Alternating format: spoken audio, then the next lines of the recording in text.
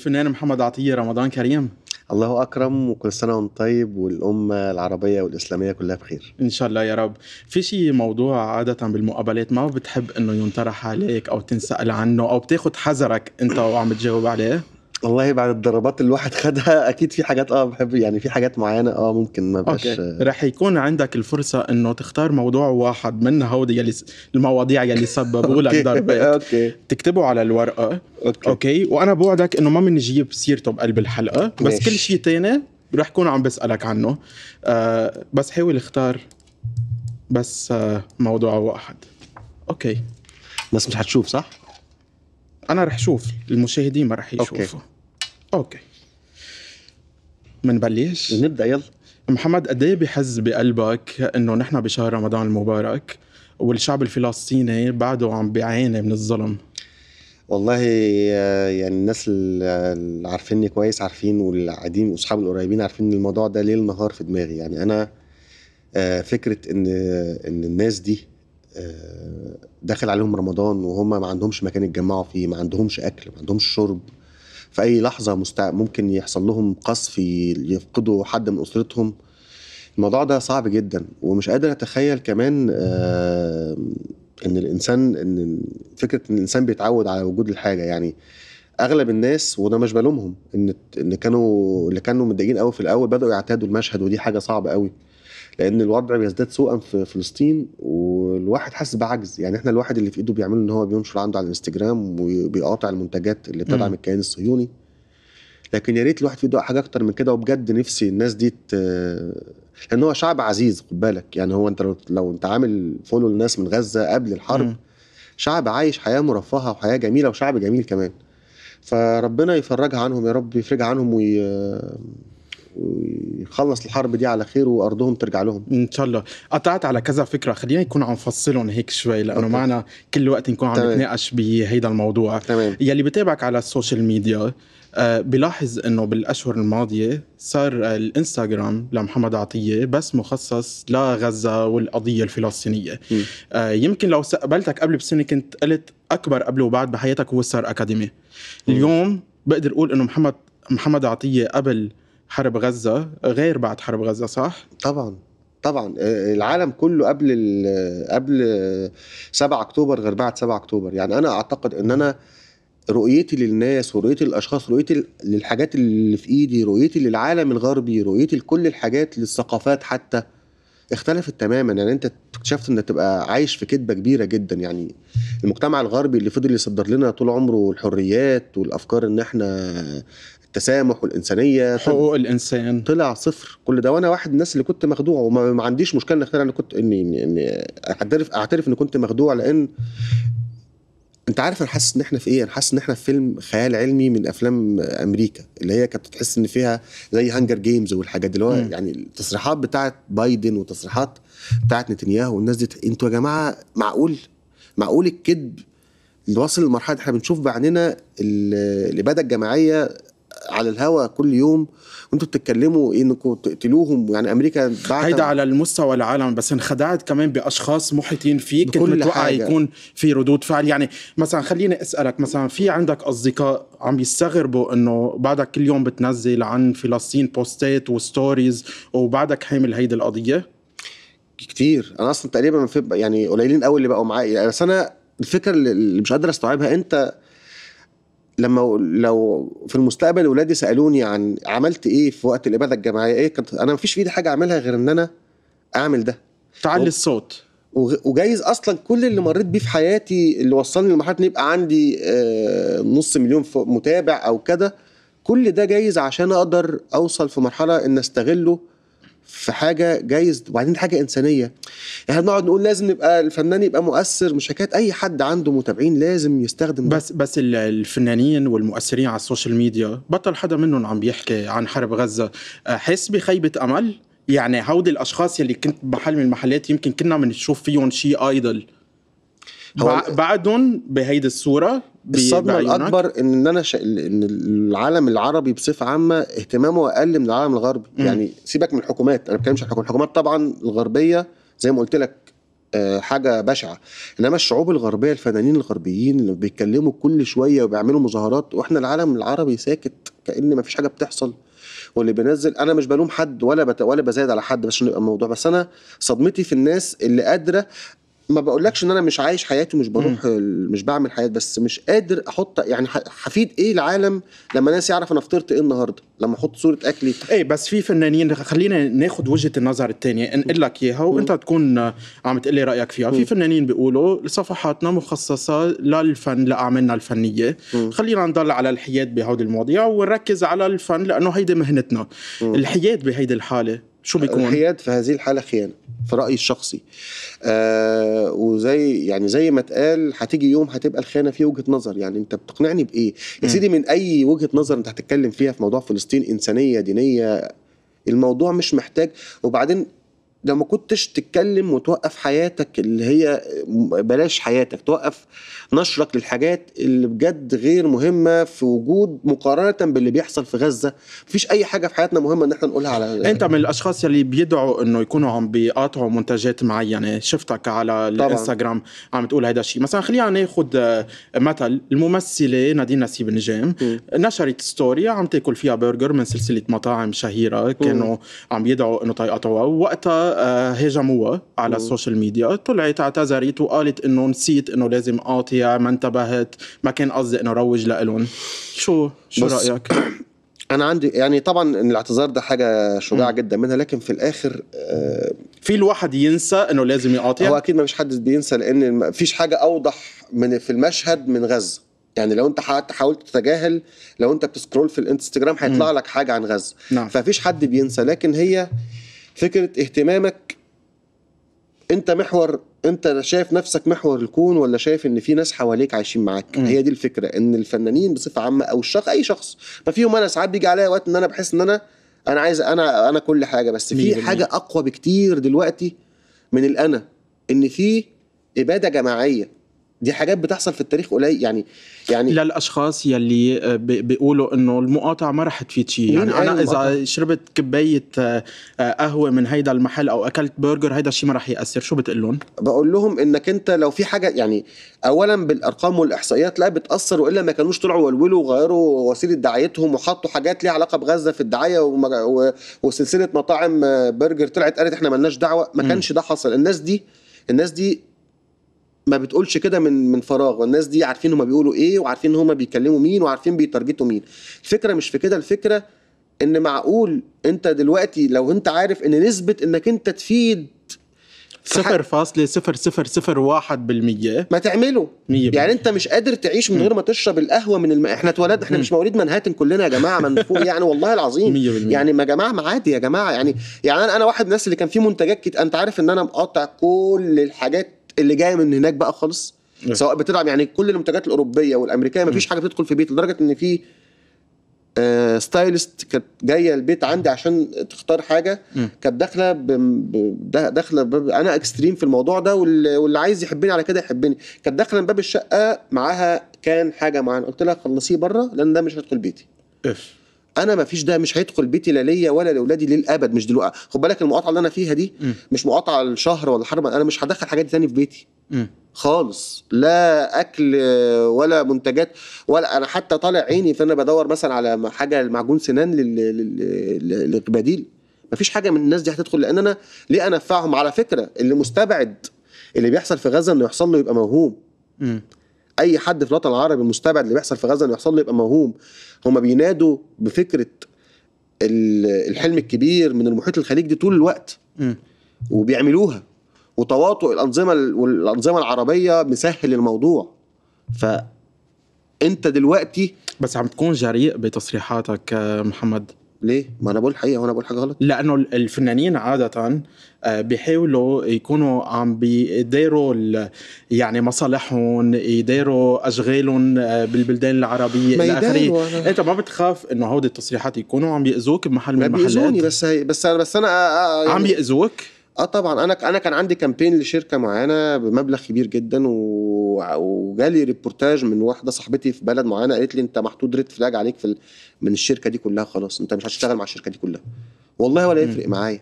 أنا أشحت ولا إني أبقى يعني بدخل بيتي فلوس من دم ناس بتموت أطفال. في أطفال بتموت بكمية رهيبة.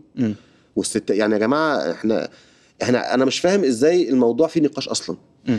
دي كارثة بشرية إن إحنا بنتناقش في إيه آه ولا نقطع بتناقشوا إيه؟ بتناقش إيه ده؟ ده أنا في فيديو شفته من يومين طفل مشي 12 كيلو 12 كيلو على رجله حافي بيدور على خبز لأهله. مم. وانت قاعد في بيتك في شيء تكييفك بيوجع وانت قاعد في تكييف اصل ممكن اصل أنا هفرق طيب بالمقابل الصحافي معتز عزيزة شلح سترة الصحافي وفل من غزة. مم. وجه له رسالة على الهواء بتلومه. لا آه، طبعا مش ببص اولا اللي عاش اللي عاشه معتز. مم. ما ينفعش خالص تحكم عليه من بره. إذا كنا إحنا في أشخاص قالوا إنه خيب لهم أعمالهم. ما هو انت ما هو مين ما هو أنت السوشيال ميديا فيها مشكلة. إنك انت إنك أنت مستني من واحد خسر كل حاجة حواليه. يا سيدي هو انت إحنا إذا كنت أنا كنت في أول شهر النوت يعني ما كنتش ما كنتش سوي نفسيا ولا عصبي كنت بزعق في الناس وببكي طول الوقت. ما بالك ده عايش هناك. ما تلوموش ما تلومش أي حد عاش في غزة في المرحلة دي. اوعى تلوم على رد فعله مهما كان. والراجل قد طب يا سيدي انت بتلومه على إيه؟ ما هو الراجل قعد ثلاث شهور بيغامر بحياته عشان يوصل لك الصورة. انت بقى اللي قاعد بتنظر عليه وتقول اقطع وما قطعش دلوقتي جاي بتلوم عشان ياخد بريك ولا يبعد؟ مم. حقه يا جماعة الراجل تعب وطلع عينه.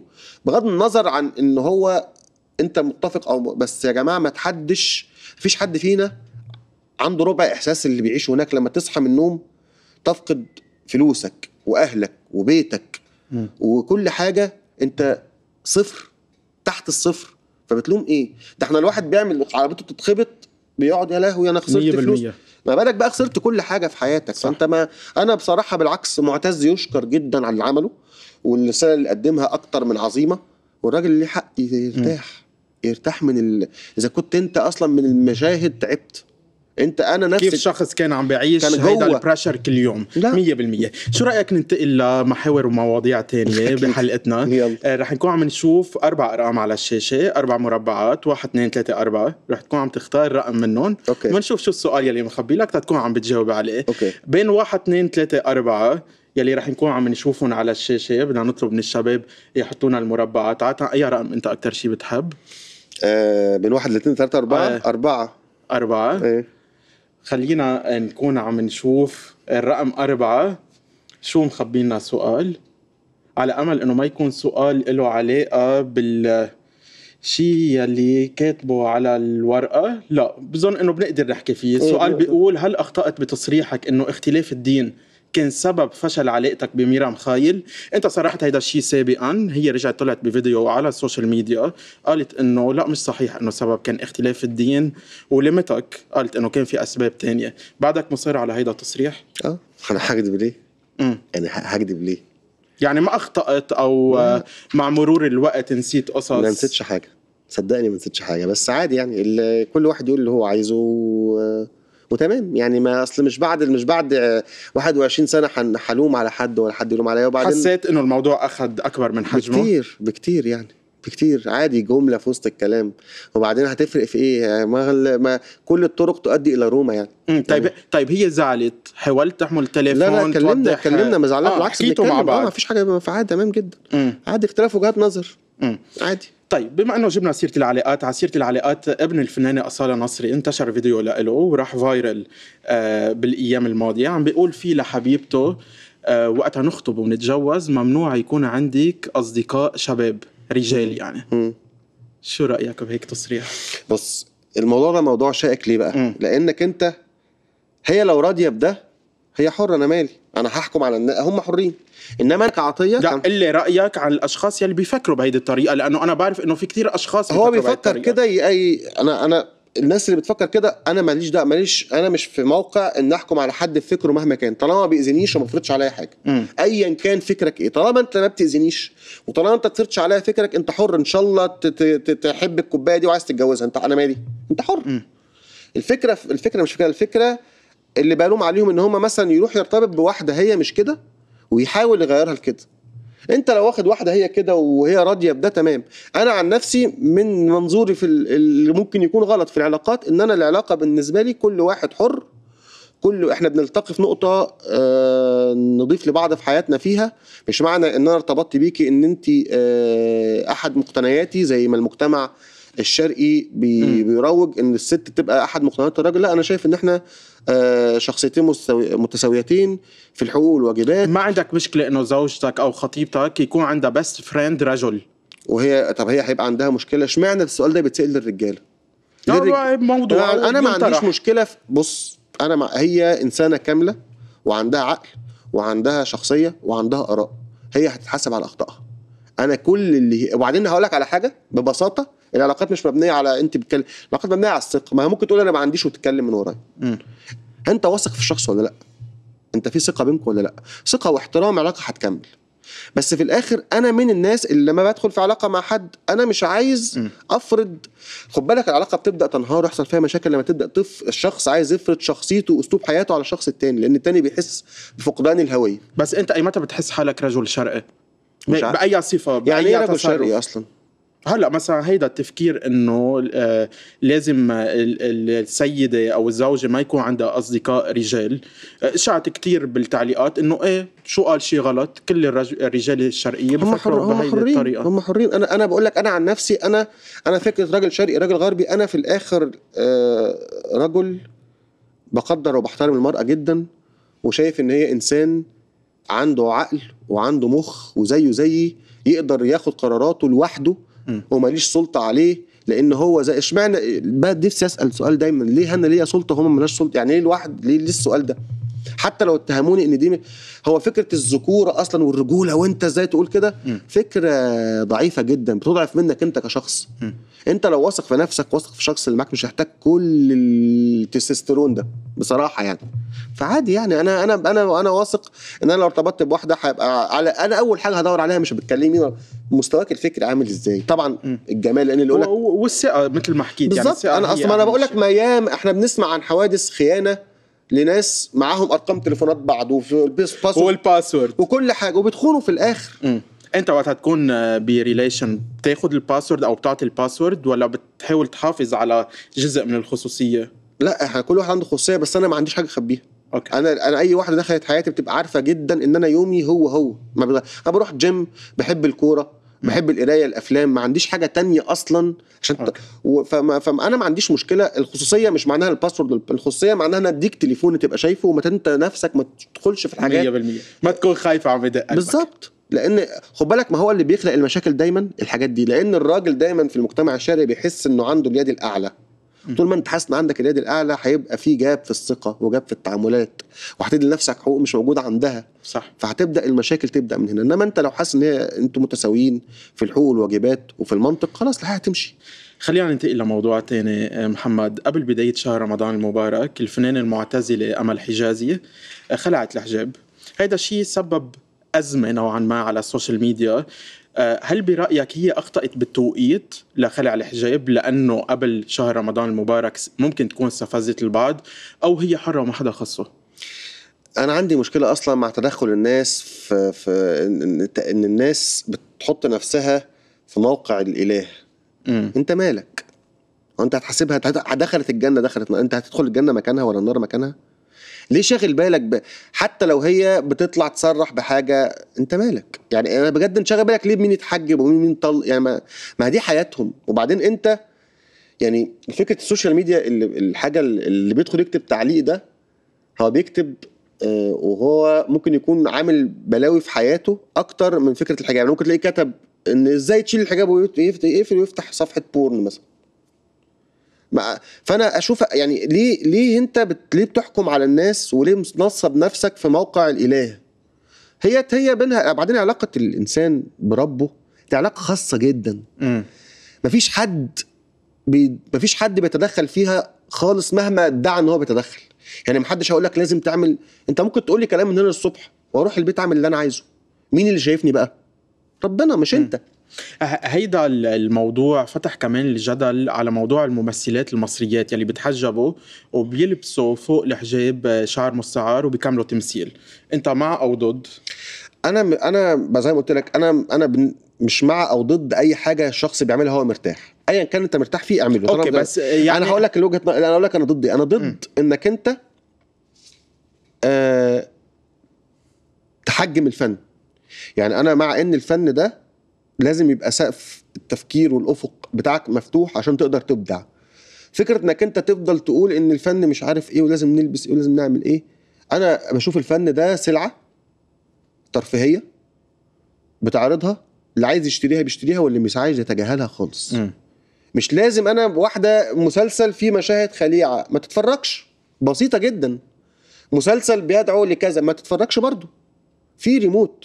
ففك... ب- ب- بس حتى لو عم ينعرض برمضان بما إنه جبت الم... هو أنت اللي بتعرف في. رمضان ده بيجيبه لك في التلفزيون بيحطه في وشك ما أنت اقلب القناه لا بس لأنه مثلا في أشخاص بيقولوا مثلا إنه مسلسل رمضاني ولو مطلعين مثلا آه، في مشهد خليع مثل ما عم بتقول أو مثلا راقصه لابسه شيء مش محتشم أنت عارف أنت عارف السنة اللي فاتت أو اللي قبليها آه. كان رقم واحد على نتفليكس في شهر رمضان كان إيه؟ 6 Shades of Grey. كان أكتر حاجة متشافة مش فاكر اسم الفيلم أو فاكر. يعني. فإحنا شعب 50 Shades 50 Shades of Grey أنا عارف. أنا لا ما أنا عارف مش عارف 50 Shades of Grey مش فاكر. ده كان. رقم واحد مشاهدة في الوطن العربي في مصر وفي بلاد تانية في. رمضان. مم. على رأي عمرو مصطفى. في رمضان. فالفكرة إنك أنت كل ده نفاق. كل ده نفاق صدقني. السوشيال ميديا مخليها كل واحد عايز يطلع على السوشيال ميديا بمز... ب... ب... بصورة الشخص الفاضل المثالي مفيش حد فينا مثالي مم. وبطلوا تدعوا المثالية لأن أنا بقول لك إن يعني أنت لما تطلع أنت عارف هو بيحب بيحب الناس بتحب تعمل كده ليه؟ عشان تحس برضا ذاتي لما يجي لها لايكات كتير وتحس إن في ناس زيها كتير أنا الحجاب وفي رمضان و... attention يعني طبعاً. عم بيبحثوا عن ال... أصل انت أصل أنت بص الأفكار هل أنت لما تدخل مثلا تكتب ليه ما يصحش كده الممثلة دي هترجع في كلامها من ال comment ده يعني أكيد لا بتعمل إيه أنت مم. عم نحول الأنظار بس على- عليك مم. فالفكرة إنك أنت يعني كمان في الوقت الحالي أنا عندي بدل ما تدخل تكتب comment على حاجة زي دي ادخل ادخل اعمل share ل post عن غزة مم. أنت كده بجد بالنسبة لي بتعمل حاجة مفيدة مم. إنما تقعد بقى تقول لي أصل ف... وانت طب ما... ما أنا بقول لك في رمضان وحياة ربنا بيتفرجوا على حاجات على نتفليكس وعلى منصات تانية أضرب بكتير من اللي بيدعوا إن هي دي في رمضان. وما هو بس فكرة أقول لك على حاجة العالم العربي هو بيحب إيه فكرة الأوضة والصالة. إحنا كلنا قاعدين مع بعض لازم كلنا. زي بعض ونفكر زي بعض واللي هيغلط مننا هن... هنبهدله. إنما من بره لا ده أجنبي. مش فاهم ليه. يعني مش فاهم ليه إحنا الغيرة الزيادة على ستاتنا كجمهور. رغم إنك أنت كنت تشوف نفس الممثلة الممثلة تعمل نفس المشهد من بره لا عادي. 100%. لا عادي مش مشكلة طيب بما إنه قبل ما يدهمنا الوقت بعد عندي كتير أسئلة فرح. أحاول كون عم سرع قد ما فيي. بيتفاجئوا وقتها يعرفوا إنه صرت فوق ال 40 كتير يعني ما أعرفش كتير بس أنا عمري ما خبيت وناس تقول لي ما تقولش سنك ليه يا جماعة ليه؟ طيب بعد عمر ال 40 إيه. صار عندك هاجس من إنه تخسر الأشخاص يلي بتحبهم ولا صرت متصالح مع قصة الموت أكثر؟ لا عادي أنا عايش حياتي لغاية لما يأذن ربنا إن أنا هفارق فافارق عادي مش فارق. لا قصدي بتخاف إنه الأشخاص يلي بتحبهم يكونوا هن عم بيفارقوا الحياة. لأنه الواحد كل ما يكبر بصير يخاف على الاشخاص إيه أنا الحاجة الوحيدة لا بس ده هجس عندي من زمان جدا من وأنا عندي خمس أمي. دايما عندي هجس من خسارة أمي لأن هي أعز شخص في حياتي. فدايما ده بيسيطر عليا وكتير قوي بيأرقني وما بينيمنيش وبيجي لي أفكار فدي الحاجة الوحيدة. إنما أي حد بالنسبة لي تاني كلنا ماشيين اصلنا يعني مم. كلنا كلنا هنمشي من الله هذا يطول بعمرك. الله يخليك. آه، الفنان أحمد سعد محضر أغنية لنفسه بيوم الوداع. تا يبسوها وقتها يتوفى. مم. هيدي شو كيف تقريها تصالح مع النفس إثارة الجدل؟ لا مش صارت جدل ليه فنان وبيعبر ما, ما عادي ما شفنا ياما عم مش... بيعبر إنه عامل غنية لنفسه. إيه المشكلة؟ إيه المشكلة؟ طب ما إحنا شفنا الخبر ما لقيته غريب؟ لا لأن لأن لأن في روائيين كتير اتكلموا عن يوم في في كافكا ياما فرانز كافكا ياما اتكلم عن أشكال الموت والوحدة وال... يعني عادي. دوست- دوستويفسكي ياما اتكلم برضو عن العادي سارتر كل الناس دي اتكلمت عن الموضوع ده. بس هي فعادي أنا بشوف إن الفنان من حقه يعبر بأي حاجة تيجي في دماغه عن أي حاجة هو عايزها يعني. نرجع نشوف المربعات. ماشي. آه، الواحد اثنين ثلاثة أربعة سبق okay. ونقيت رقم أربعة؟ okay. بدنا نرجع نشوف المربعات. رح نكون عم نختار بعد رقم. أوكي. آه، وتكون هيدي المرة الأخيرة يلي بنختار. تا okay. نخلي السؤالين الباقيين آه، يبقوا سر. واحد اثنين أو ثلاثة واحد. محمد رمضان number 1 بتحب محمد رمضان؟ طبعا. okay. عمرو دياب بيعرف إنه كنت تنطره لساعات قدام الاستوديو آه لما قابلته قلت له الموضوع ده. ليه كنت تنطره؟ عمرو دياب بالنسبة لي آه، idol يعني مم. آه، حالة فريدة من نوعها في ناس زي عمرو دياب وعادل إمام والناس دي. آه، حتى لو أنت أنا بحب طبعا دول بالنسبة لي بس أنت حتى لو بتحبش فنهم لازم تقدر قد إيه استمرارية النجاح. الراجل ده بقى له 40 سنة بينجح ودي. صعبة جدا. وغير إن أنا اتربيت بقى على مزيكته. يعني عمرو دياب في وقت من الأوقات لو جه شاف اوضتي كان صوره من كتر ما فيش مكان بقت في بس شو كان الهدف؟ إنه توقف قدام كنت؟ اولا عايز كنت عايز أنا بكتب والحن فكنت عايز اسمعه أغنية. okay. فانا حاجة عايز أشوف عمرو دياب. مم. يعني عايز أشوفه عمرو دياب يعني. طيب بعد ال social media دائما المنافسة محصورة باسمين بمصر. آه. بيقولوا لك عمرو دياب أو تامر حسني؟ هو مفيش مقارنة. يعني مفيش مقارنة. مع احترامي الشديد لتامر بحبه جدا. بس دي حاجة غريبة جدا. يعني كانك يعني كأنك يعني أصل عمرو دياب ده تاريخه صعب قوي. يتعمل زيه. يعني أنت يعني بغض النظر يعني أنا أنا مثلا بحب ويجز جدا. بحبه جدا وشايفه وشايفه أنا بالنسبة لي دلوقتي ويجز هو أنجح حد في مصر. okay. أنجح حتى من كل يعني أنجح حد ويجز لأن هو واصل لطبقة وفئة من الشعب ومن ومن وجيل شباب آه هو ده اللي جاي وهو ده الفكر الجديد مم. في الأغاني. بغض النظر عن أنت كمستمع بس هل ينفع بقى أقول ويجز ولا عمرو؟ لأ ما ينفعش. مم. يعني ده عمرو دي ده عمرو دياب يعني طيب خلينا ننتقل لجدل تاني إيه؟ مين صوت مصر؟ شيرين عبد الوهاب أو أنغام؟ آه يعني هو الاثنين اللي أصل إحنا يعني هيدا الجدل على ال social media. الاثنين جامدين جدا. يعني أنا فكرة صوت فكرة ليه لازم عندنا في الوطن العربي يبقى الأوحد؟ ما بره في كتير قوي. إيه بس هو هيدا اللقب مش أنا اخترعته. يعني أنت أكيد يعني بتتابع ال social media بتابع ال social media بس بستغرب- مين يلي بيلبق له؟ اللقب أكثر والله ما أعرف بس أنا بحب ال- أنا ما أعرفش لا يعني الاثنين بالنسبة لي أنا بسمع أنغام وبسمع. شيرين وبحب الاثنين فمش عارف ليه لازم حد يبقى هو بس صوت مصر يعني ما هم الاثنين يبقوا صوت مصر؟ عادي يعني عادي. okay. طيب من قبل جربت التمثيل جربت التلفزيون الواقع جربت. الغناء جربت تقديم البرامج. خلال كل هودي الفترات والمراحل شي مرة فكرت إنه بدك تعتزل الأضواء قلت بينك وبين حالك خلص بطل بدي؟ ولا مرة. ولا مرة. ولا مرة. لا ولا مرة جه في دماغي. ما بعرفش أعمل حاجة غير ده. مم. يعني ولا يعني أنا ممكن يعدي عليا يعني لو عدى عليا وقت معيش ولا مليم عادي هفضل مستني فرصة تجيلي في الشغلانه لأن أنا بحب الشغلانة دي ما بعرفش أعمل حاجة غيرها. مم. وعشت حياتي من وأنا طفل حتى من وأنا في المدرسة كنت أنا اللي بغني وأمثل وأكتب يعني أوكي. فما ما بجد ما بعرفش أعمل حاجة غيرها. طيب بعد مرحلة ستار أكاديمية شو أنجح شيء قدرت تحققه؟ فنيا؟ آه، فيلم درس خصوصي آه، لأن لسه الناس بتسب... يعني فاكرين افهاته آه،. وبيجي لغاية دلوقتي والناس وفيلم اسر الناس بتحبه فده بالنسبة لي من أنجح الحاجات اللي عملتها و وناس وناس لغاية دلوقتي بتقول في الشارع في مصر يا خصوص يا خصوص افندي ف- فبنبسط بحب الفيلم ده جدا يعني شو أفشل شيء عملته بعد أكاديمية؟ كتير في كتير أفشل شيء أفشل في الفيلم اللي بعده شو كان اسمه؟ اسمه عليا الطرب بالنسبة لي رغم ان عايز أقول لك على حاجة ما هو دي شو؟ مش... ما هو دي مشكلة الحسابات يعني أنت في فكرة إن الفيلم بتاع عليا الطرب ده عمل ساعتها إيرادات. أكتر من أي فيلم كان نازل معاه يعني. عمل 22 مليون جنيه مصري. في الوقت إن الفيلم بتاع درس خصوصي كان عامل 6 أو 7 مليون بس دلوقتي درس خصوصي أنجح أنا يعني بالنسبة لي فيلم عليا الطرب ده لو عمل مليار دولار أنت جايب دليل دليه لك جبت الدولار دغري يا. سلام يا سلام شي مرة حملت مثل هيدي الشنطة؟ إيه؟ إيه آه والله شاتت مليون دولار؟ ما كانت لا مش مليون دولار كان ساعتها قيمة الجنيه كان الجنيه ليك عم بيجي يقولوا أعطينا نص يمكن يكون صرفهم لا كان كان يا جماعة أيام كان زمان. من زمان من زمان كان حملت شنطة زي دي إيه وأيامها كنت صغير فما كنتش عارف قيمة الفلوس صرفتهم؟ يجي لي في, في ما فيش في, في, في كلهم كلهم؟ أنا وأنا أصل حتى بقى بص أنا كنت عندي 20 سنة وكان عندي كمية فلوس ليا بكسب مش من والدي بقى ولا من والدتي مم. بكسبها أنا مش طبيعية وأنا ما عنديش خبرة في الحياة. على شو صرفتهم أكتر شيء؟ والله ما أعرف. ما فيش يعني تقول لي مثلا جبت ما جبتش بيت جبت ما جبتش عربية. هو كده كانوا بيتصرفوا اف أه والله. وحتى مثلا عشان الناس ما تفكرش لا بشرب مخدرات ولا بشرب ألكول ما فيش. أي حاجة يعني ولا حتى بتاع سهر. يعني ما في مش مش في الحتة دي خالص. ما. بتعرف. كنت عم تصرف والله ما بعرف. لو قلت لي دلوقتي أنت صرفتهم في إيه؟ ما أعرفش. ليك في مثل لبناني بيقول المال بجر المال. الشهرة بتجر المصاري؟ مش شرط مش شرط. على حسب ما أنا يعني على حسب أنت حسبتك يعني أنا واحد من الناس اللي, اللي ممكن اللي ممكن أشتغل حاجة بحب عجباني جدا من غير فلوس. ما okay عنديش مشكلة. طيب آه، شي مرة حسيت إنه lifestyle الشخص المشهور ما بيتطابق كتير مع مادياتك؟ يعني حسيت إنه لا أنا طول عمري بعرف أعيش باللي معايا. مم. وما يفرقش معايا الناس بتبص عليا إزاي يفرق معايا ان أنا عايش مبسوط. بس وصلت لأيام يعني قلت لي إنه في محلات كان معها كتير وصلت لأيام ما صار ما كان معك شيء؟